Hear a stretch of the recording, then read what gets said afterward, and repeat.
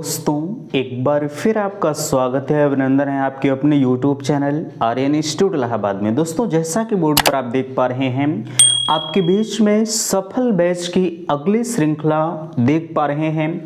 हम प्रत्येक सफल बैच में फ़िलहाल के लिए अभी चर्चा कर रहे हैं बाल विकास एवं सीखने की प्रक्रिया पर।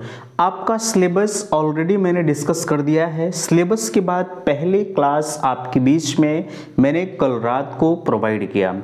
दूसरी क्लास की श्रृंखला आपके बीच में जा रही है। आप देख पा रहे हैं।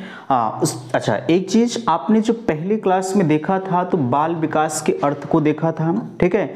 चूँकि आपको पता है, आप सबसे पहले अगर आप एजुकेशन को पढ़ रहे हैं या कहा जाए बाल विकास की प्रक्रिया को पढ़ रहे हैं तो पहला टॉपिक आपका होता है कि बाल विकास का अर्थ, यानी मीनिंग ऑफ़ चाइल्ड डेवलपमेंट ठीक है?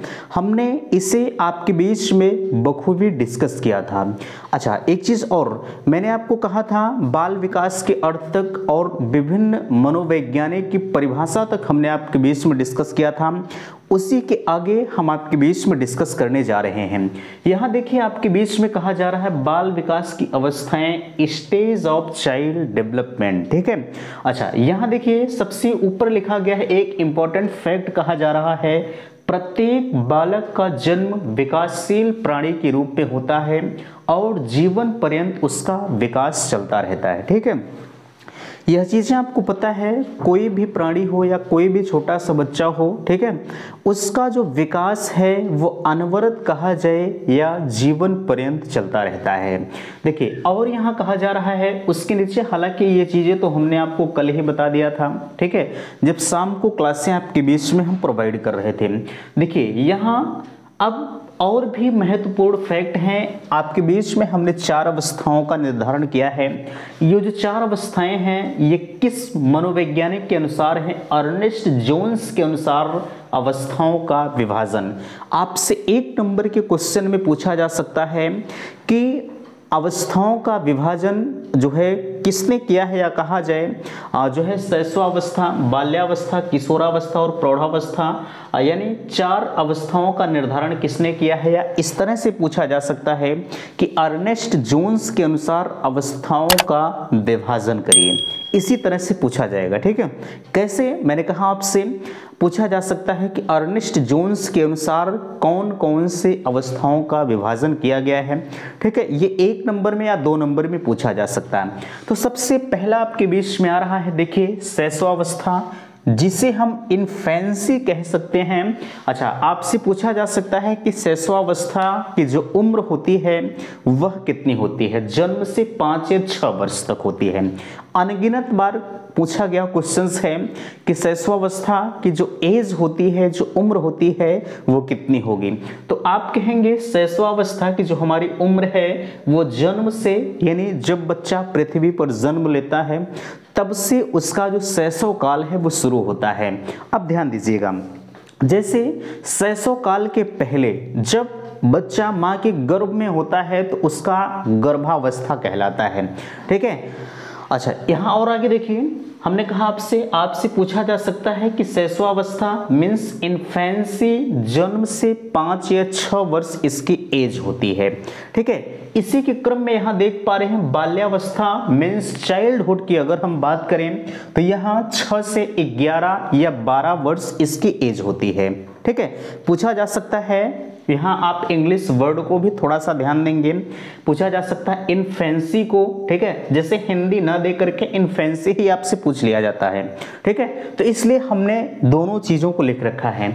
इन्फेंसी मीन्स जन्म से पाँच या छह वर्ष, बाल्यावस्था मीन्स चाइल्डहुड हम कह सकते हैं। हमने आपको कल के लेक्चर में आपको बता दिया था कि चाइल्डहुड के एज जो होती है वो छह से ग्यारह या बारह वर्ष होती है, ठीक है?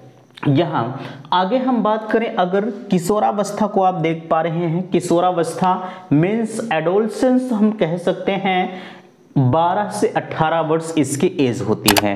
पूछा जा सकता है, अगर देखा जाए, ये चारों अवस्थाएँ जो है अपने आप में काफ़ी महत्वपूर्ण हैं। कभी भी किसी भी अवस्था से क्वेश्चन पूछ लिया जाता है। डायरेक्टली पूछ लिया जाता है कि बाल्यावस्था की एज क्या होती है। छः से जो है ग्यारह या बारह वर्ष आप कह सकते हैं, ठीक है? और भी पूछ लिया जाता है कि किशोरावस्था मीन्स एडोलसेंस की एज कितनी होती है तो आप कहेंगे बारह से अठारह अवस्था। हम बार बार फोकस क्यों कर रहे हैं? क्योंकि ये चीज़ें आपके लिए महत्वपूर्ण हैं। परीक्षा के दृष्टि से ये बहुत महत्वपूर्ण है, ठीक है? यहाँ प्रौढ़ावस्था की हम बात करें, जिस अवस्था में आज आप आप हैं। ठीक है आप अगर बात करें हम तो पूरी तरह से प्रौढ़ हो चुके हैं। प्रौढ़ावस्था एडल्टहुड हम कह सकते हैं, और इसकी जो एज होती है, वो 18 वर्ष के बाद होती है। ठीक है, ये तो अवस्थाओं का निर्धारण था। अभी तक ये ऊपर की चीज़ें आप छोड़ दीजिए, ये चारों अवस्थाएँ जो आपके लिए है, ये अपने आप में काफ़ी मानी जानी चीज़ें होती है। ये हर बार परीक्षाओं में पूछा जाता है। ठीक है? इसलिए आप, अभी आपके पास वक्त है, समय है, ठीक है? आप इन चीज़ों को देख लीजिए। चलिए, देखिए, और एक चीज़ में हम बताएँ आपसे, ये आपके यूपी टेट और सी टेट जैसी जब परीक्षाओं को आप देने जाएँगे ना तो वहाँ पर भी ये क्वेश्चन पूछे जाते हैं। डायरेक्टली पूछ लिया जाता है कि बाल्यावस्था की एज क्या होती है? मैं बार बार आपसे कह रहा हूँ, ठीक है? प्रौढ़ावस्था की एज क्या होती है? किशोरावस्था, बाल्यावस्था, शैशवावस्था, किसी भी एज को पूछ लिया जाएगा और पूछ लिया चार ऑप्शन दे दिए जाएँगे कि आप इनमें से सेलेक्ट करें। तो जब आपको ये चीज़ें याद रहेंगी तो फाइनली आप तुरंत कर ले जाएँगे। अगर आपको थोड़ा बहुत भी कन्फ्यूजन्स रहेगा, ठीक है? तो आप समझ सकते हैं कि 25 परसेंट चांसेस होते हैं कि सही होने के। बाकी अदरवाइज़ हम तो अपनी तरफ़ से पूरी कोशिश कर रहे हैं। अगर आपको सफल बैच ज्वाइन करना है तो मात्र दो सौ प्राइस है। हम सफल बैच के दौरान model paper previous year paper live plus recorded क्लासें हैं और सारी सब्जेक्ट के नोट्स है। ज्वाइन करने के लिए लिंक आपके डिस्क्रिप्शन बॉक्स में दिया गया है। अगर आपको दिक्कत हो रही है तो मैंने नंबर आपके बीच में दिया है, चौरानवे, बावन तैंतीस दस तिरपन पर आप संपर्क करिएगा। हम आपकी बखूबी जो है, जो भी आपके, चाहे एडमिशन के संदर्भ में डाउट्स हैं, चाहे आप क्लास को लेकर डाउट्स उत्पन्न हो रहे हैं, हर तरह से हम आपके लिए उपस्थित होते हैं, ठीक है? चलिए, यहाँ इतनी चीज़ें तो हो गई। अब शैशवावस्था के संदर्भ में कुछ मनोवैज्ञानिकों ने अपने अपने मत दिए हैं। देखिए, एक चीज़ और कहेंगे, हमने जब आपके बीच में सुबह बाल विकास का कल जब शाम को वीडियो दिया था तो मीनिंग ऑफ़ चाइल्ड डेवलपमेंट, यानी बाल विकास के अर्थ के तहत हमने तीन चार मनोवैज्ञानिकों के नाम आपको बताए थे। हमें लगता है कि हमने क्रो एंड क्रो को बताया था, जेम्स ड्रेवर को बताया था, स्किनर को और गैरिसन को। ये चारों मनोवैज्ञानिकों का डिस्कस मैंने किया था ठीक है? अब एक चीज़ और नोट करिएगा।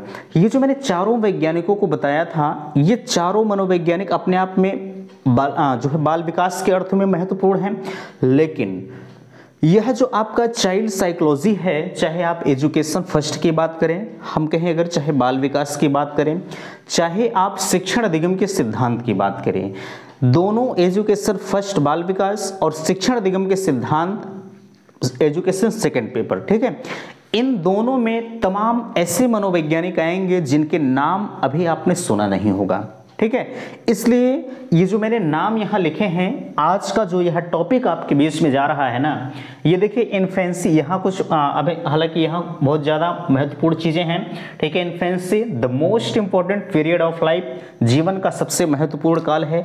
एक नंबर के क्वेश्चन में अनगिनत बार पूछा गया क्वेश्चन है कि जीवन का सबसे महत्वपूर्ण काल कौन सा होता है? तो आप कहेंगे शैशवावस्था जिसे हम जन्म से जो है पाँच या छः वर्ष बताते हैं। अब यहाँ आपके मन में आ रहा होगा कि आखिरकार जीवन का सबसे महत्वपूर्ण, अभी हम साइंटिस्टों पर बात कर रहे थे, अभी फिर से हम आते हैं।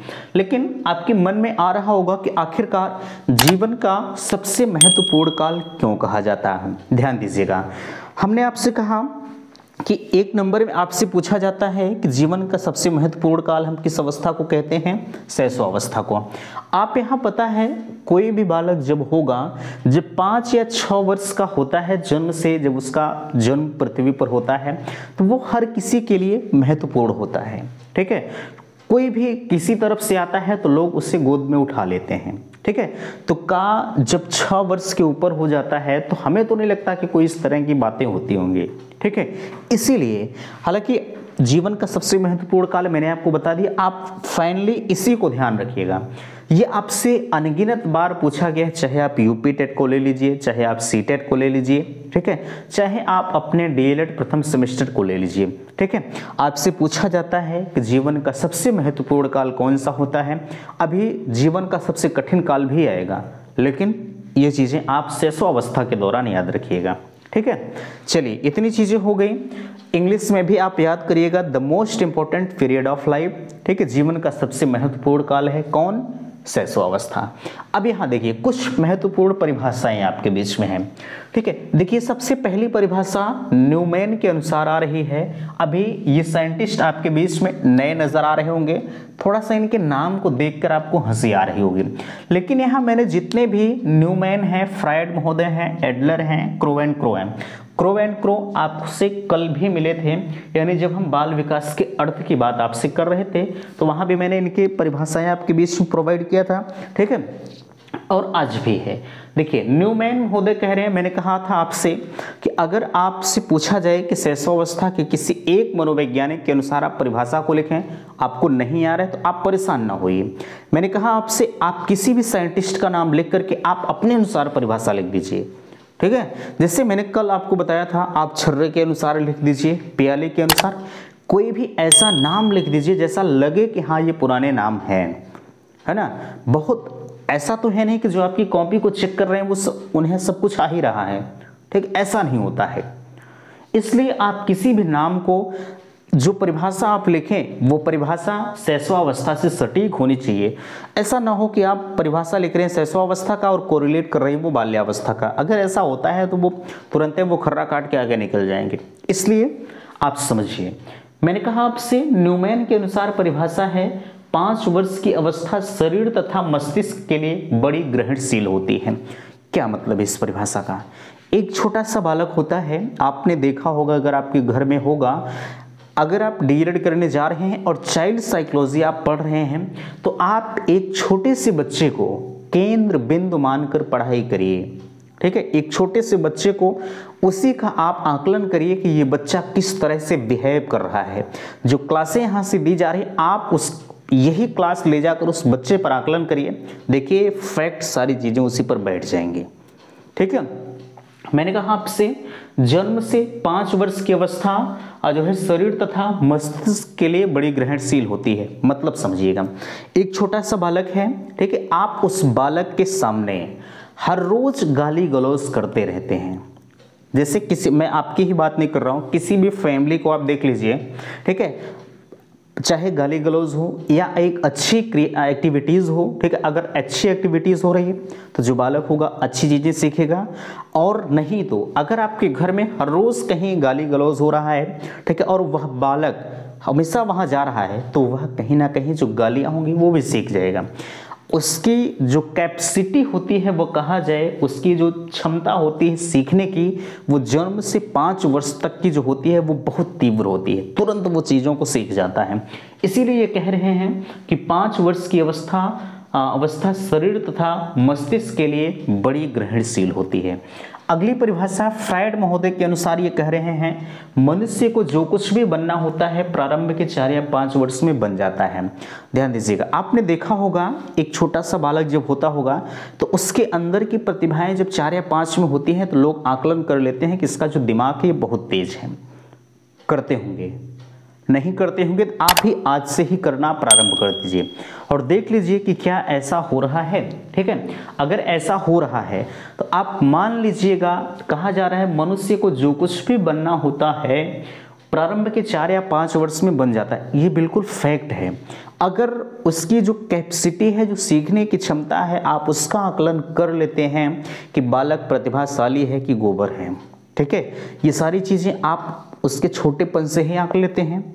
तो यही चीज़ें फ्राइड महोदय कह रहे हैं कि मनुष्य को जो कुछ भी बनना होता है, प्रारंभ के चार या पाँच वर्ष में वो बन जाता है। ठीक है? अगली परिभाषा, एडलर महोदय और Crow and Crow. Crow and Crow की परिभाषा आप देख लीजिए, बीसवीं शताब्दी, बालक की शताब्दी है। ये भी बहुत बार पूछा गया है। अगली परिभाषा एडलर महोदय शैशवावस्था के द्वारा जीवन का पूरा क्रम निश्चित होता है। ये कह रहे हैं जैसे एक शैशवावस्था का बालक है, ठीक है? अगर अवस्था का जो बालक है, कह रहे हैं कि जीवन का पूरा क्रम निश्चित होता है। अगर एक अच्छी शिक्षा दीक्षा में उसे पालन पोषण किया जा रहा है तो कहीं ना कहीं जो उसका जीवन का क्रम है, वहीं से वो धीरे धीरे अपना बढ़ाना शुरू कर देता है। ठीक है? तो ये सारी चीज़ें, और यहाँ मैंने नीचे एक फैक्ट चीज़ें लिखा है कि शैशवावस्था में बालक भावी जीवन का निर्माण होता है। शैशवावस्था में बालक के भावी जीवन का निर्माण होता है, वो अपने आगे की चीज़ें करना प्रारंभ कर देता है। ठीक है, जो शैशवावस्था का बालक है, यानी जैसे अब ऐसा ना समझिएगा कि वो पैसा वैसा कमाना शुरू कर देता। नो ठीक है, यहाँ उम्मीद करते हैं ये भी आपके लिए महत्वपूर्ण चीज़ें हैं। कि आपसे पूछ लिया जाता है कि किस अवस्था का बालक अपने भावी जीवन का निर्माण होता है, या पूछ लिया जाता है कि शैशव अवस्था में बालक के भावी जीवन का निर्माण होता है या नहीं होता है। ठीक है? तो उम्मीद करते हैं कि सारी चीज़ें आपको समझ में आई होंगी। ठीक है? अच्छा यहाँ हमने जो चारों अवस्थाओं का निर्धारण किया है, आप इस अवस्था को ज़रूर देख लीजिएगा। ठीक है? बाकी अगर आपको कहीं कोई भी समस्या होगी तो मुझे आप ज़रूर अवगत कराइएगा। ठीक है? हम हर संभव आपका प्रयास कर रहे हैं कि आपका सब कुछ अच्छा खासा होता हुआ चले। मैंने आपके बीच में जो है आपका जो टाइम टेबल है, आपकी क्लासें किस तरह से चलेंगी, उसका निर्धारण मैंने कर दिया है, ठीक है? आज ही आपके बीच में हम शेयर कर देंगे, ठीक है? तो उम्मीद करते हैं कि सारी चीज़ें आपको समझ में आई होंगी। आप अपना फीडबैक मुझे अवश्य दीजिएगा। अगर किसी भी प्रकार की आपको दिक्कत होगी तो ठीक है? तो मिलते हैं आपसे नेक्स्ट अगले वीडियो में। तब तक के लिए थैंक्स धन्यवाद।